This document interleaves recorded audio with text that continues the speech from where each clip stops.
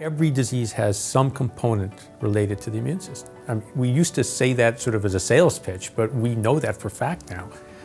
So if there's somebody going into medicine or biomedical sciences in general, but will not be an immunologist, they will be impacted by this in one way or the other. They'll need to know this if they want to understand the disease processes or even just the basic biological processes they're studying.